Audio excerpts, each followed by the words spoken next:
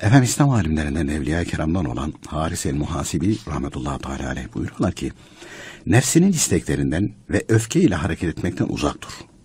En önde gelen vazifelerinden birisi de yumuşak olmak ve dikkatli hareket etmek olsun buyuruyor Haris el-Muhasibi rahmetullahi teala aleyh.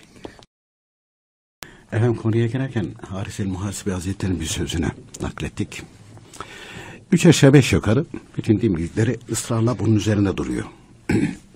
Mesela daha önce okurken de benim dikkatimi çekiyordu. Ha diyeceksiniz peki efendim anladınız mı? Hayır. Ama samimiyetle okuyunca anlamak apayrı bir şey. Anlayınca e, onların yoluna aynı şekilde baş koymuş olursun. Sende de bir ilerleme olur.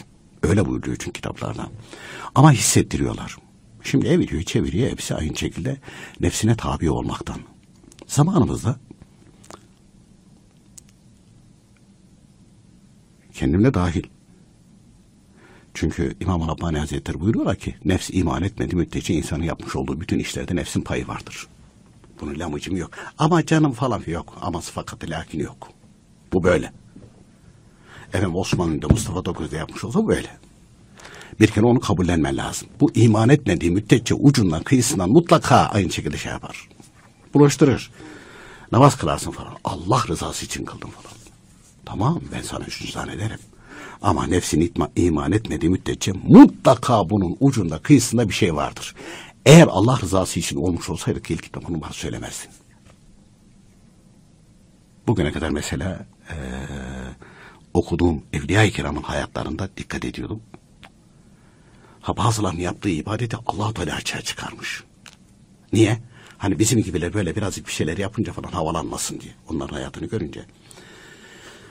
Ama hiçbir zaman kendilerinden bahsetmemişler. Ben Allah rızası için şu kadar namaz kıldım. Ben Allah rızası için şu kadar sadaka verdim. Ben Allah rızası için insanlara şöyle yardım ettim. Ama biz bunları söylüyoruz. Adam Allah rızası için yardım ettiydik bir de adam nankörlük etti falan. Aha ben nefsi yapmışım. Nefsime dokunan bir şey olunca aha sildim attım hepsini. Mesela bir şey merak ederdim. Ee, bir hadis-i şerif. O hadis-i şerifte buyuruyor ki birisine bir iyilik yaptığınız zaman bir kötülük bekleyin. Ya bu hadis-i şerif Peygamberimiz Aleyhisselatü Vesselam söylemiş. O zaman iyilik yapmayacak mıyız? İşin içine çıkamıyordum. Allah Teala rahmet eylesin. Daha TGRT falan yoktu o zaman. Cağaloğlu'ndayız. Türkiye gazetesindeyiz. Bir gün böyle bir toplantı olmuştu. Orada Enver abiler işte Hüseyin İlmi Efendi rahmetullahi teala aleyh hazretleri kendilerini hem kaybederler hem de daha kulelinden itibaren hocalar olduğu için hep anlatırken hocamız diye e, nakil yaparlardı. E, hocamız dediler bir hadis-i şerif var. Onu açıkladılar. Meğer kitaplarda varmış o. El sünnet alimler açıklamışlar. Çünkü hadis-i şerifi doğrudan doğruya aynı şekilde anlamamız mümkün değil. İşte anlarsak böyle anlarız. Ha, bak hadis-i şerif bu demek ki kimseye iyilik yapma. Öyle değilmiş o. Benim yapmış olduğum iyiliği gerçekten ben Allah rızası için mi yaptım yoksa bir menfaat karşılığı mı yaptım? Bir şey mi bekliyorum ben? Nefs gizli bir şekilde bunu yaptırıyor ve sonra da aynı şekilde ortaya çıkıyor ne beklediğini. Ortaya çıkıyor. Meğer Allah Teala imtihan ediyormuş kulunu. Şimdi ben Mustafa Döküz'e iyilik yaptım. Mustafa Dököz farkına varmadan farkına varmadan beni e, menfaatlerimi rencide edecek bir şey yapar veya söylermiş. Yapar veya söylermiş. Ben daha önce Mustafa Dokuz'a yapmış olduğum o iyilik Allah rızası için mi değil mi? Melekler oraya yazacaklar. Ya Rabbi bu senin için yapmış diyecekler. Veya bu yok. Menfaati için yapmış diyecekler. Silecekler onu. Mustafa Toköz menfi bir şey yapınca vay be görüyor musun? Biz de Mustafa Toköz'ü ne zannediyorduk? Dediğim an Veya daha dün iyilik yapmıştık. ha ha. E, çocukken duyardım böyle. Getirin adamı. Yedirdik, içirdik, bir de yatırdık. Yapılır mı bize? Evinde yedirmiş, içirmiş, bir de yatırmış. E ben kadınlardan duyardım. Annem emserleri kadınlardan böyle duyardım böyle. Gidin adamı. Bir de evde yedirdik, içirdiydik ya falan. Oo, hepsi gitti yani. Hepsi gitti. Peki e,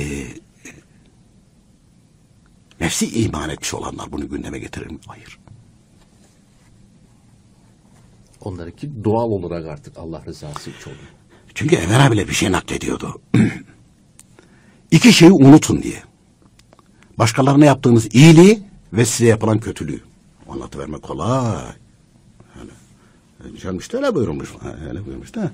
Başına gelsin bakayım bir. Ben birisine iyilik yapacağım, bunu unutacağım. Adam bir daha aynı şekilde menfi hareket yapacak, sıkarım gırtlağını. Bu nefis bende olduğu müddetçe böyle yaparım ben. Böyle yaparım ben. Onun için dediğim büyükler anlatırlarken buyuruyorlar ki bundan temizlenmek gerekir. Temizlenmenin yolunu da anlatmışlar. İmam Rabbani Hazretleri yalvarır gibi talebelerini anlatmışlar mektubat kitabında. Buyuruyor ki e, kelime-i tevhid söylemek nefsi tezkiye eder. La ilahe illallah, la ilahe illallah, la ilahe illallah. Bunu gece gündüz yürürken abdest gusül istemez. Hatta cenabet halinde bile söylenebilir. Çünkü gusül gerekiyordu. O anda deprem oldu yıkılıyorsun. Allah diyemeyecek misin? La ilahe illallah diyemeyecek misin? Onu bile yazmışlar. Denir buyuruluyor. Ha bir şey yemek içmek mekruhtur. Cenabet halinde. Ama e, bir kimse yani bir Müslüman cenabet halinde sokağa çıkmaz. Yani onun dışında onun dışında abdesti olmayabilir. Abdesti bozulmuş olabilir. Teskiye ne? Ha teskiye Nefs nasıl teskiye olur? azgındır. Şöyle bir misal vereyim daha iyi anlaşılır. Mesela diyelim ki toprak çok mümbit. Ondan sonra sen gübre de vermişsin. Ağaç ekmişsin. Ağaç fırlayıp gidiyor. Ne yapıyorsun onu?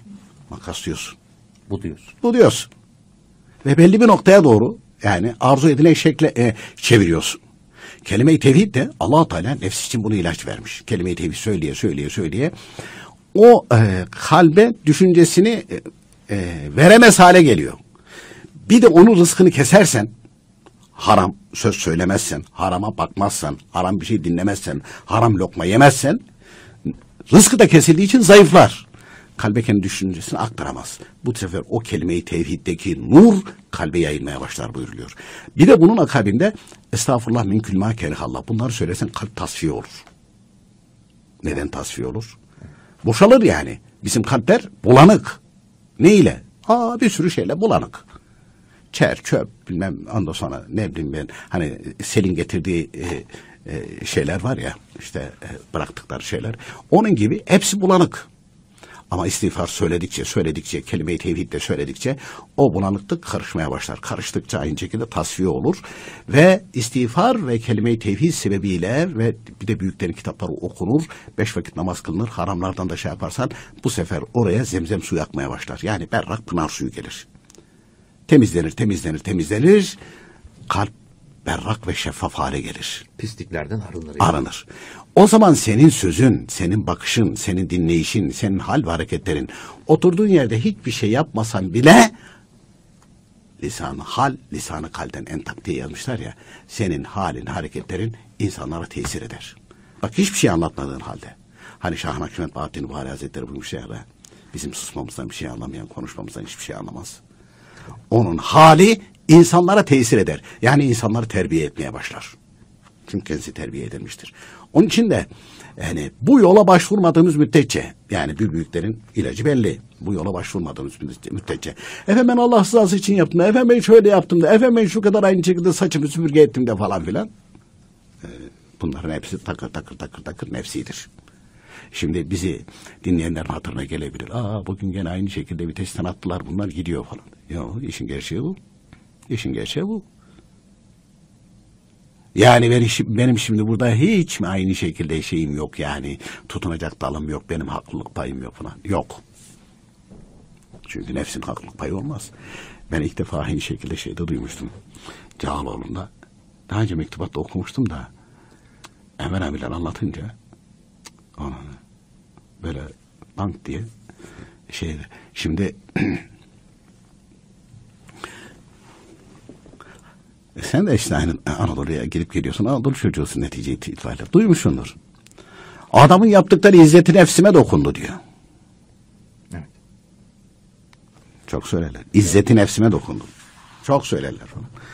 Hemen gün Cağaloğlu'nda şey yaparken alçak nefsin izzeti mi olur buyurdu, buyurdular. Ne diyor dedim ya. Alçak nefsin izzeti mi olur? İzzeti nefsime dokundu. Halbuki kendimizi ele veriyoruz. Yani adamın yaptığı nefsime dokundu. Ben de aynı şekilde nefsim harekete gitti. Adamın gırtlağını sıktım. Hadise bundan ibaret yani. Değil mi? Gücüm yetiyorsa. Alçak nefsin izzeti olmaz. İzzet ve şeref imandadır. ruhun yücelmesindedir. Kalbin selametindedir. İzzet oradadır. Yoksa e, eğer e, nefsine tabi olanlar izzetli şerefli olsaydı, izzetli şerefli olsaydı işte Neron gibiler, ondan sonra Nemrut gibiler, Firavun gibiler. E, son zamanlarda bir sürü böyle aynı şekilde onun yolunda olanlar var. Hitler gibiler, Hitler Stalin gibiler. Ha, Din adamı gözükenler Din var adamı mesela. gözükenler. E, din adamı gözükenler var. Yakın zamanda mesela bu e, FETÖ dedikleri adam geç öbür tarafta Türkiye Cumhuriyetleri perişan eden Çağrullah Musa Beykiyev gibiler. E, bunların hepsi öldükten sonra ha o, o tayfada e, nefsine izzet verenler tarafından şakşakla alkışlanmışlardır. Ama hakikati bilenler bunların zelil ve hakir olduğunu ve imandan nasibi olmadıklarını çok net bir şekilde görürler. Ehl-i sünnet alimleri herhangi bir beklenti değil, evliya-i kiram beklenti içinde değil. Ama doğrular söylemişler, doğrular yazmışlar. Reçete belli, ilaç da belli. Tek şey var, tek şey var. O da bizim oturup, bizim oturup bunları okuyup hayatımıza geçirmeye çalışmak. Efendim ne kadar geçir, ne kadar geçirsek o kadar faydalıdır. Hasta olduğumuzu kabul etmek lazım. Ha, Yani mesele o. Onu kabul edeceğiz. Bir de e, vaktimiz doldu ama e, mesela allah Teala burayı buyuruyorlar. Ehl-i sünnet alimleri ve evliya-i kiram. E, burada sefa zevk aramak hele İmam Rabbani Hazretleri çok açık yazmışlar. Deliliktir, ahmaklıktır buyuruyor. Çünkü Cenab-ı Hak burasını mihnet, sıkıntı, dert, bela, musibet değil. Yani burasını imtihan yeri yaratmış. Şu anda aynı şekilde konuşuyorsun ama bir saat sonra ses tellerin gitmiştir, konuşma bitmiştir. Aa ne oldu bana? Ne olacak canım? Allah Allah imtihan ediyor. Kimisini mal verir, mülk verir, evlat verir, öyle imtihan eder. Kimisi ne hiçbir şey vermez, öyle imtihan eder. Allah rahmet eylesin. Evvel abiler hep toplantılarda anlatırlar. Dinin yarısı sabır, yarısı şükür. Nimet zamanı şükür, yani o nimetleri allah Teala'nın razı olduğu, beğendiği yerde vermeli. Dert bela aldığı zaman da sabretmeli. Ben bunu kabul etmiyorum. İster kabul et, ister kabul etme, ister gargara et, ister yut, fark etmez. Ama bu böyle. Bütün dert şeyimiz de bunu kabul etmek istemiyoruz. Efendim her şey tıkırında olsun, benim gönlüme göre olsun. Yok öyle bir şey.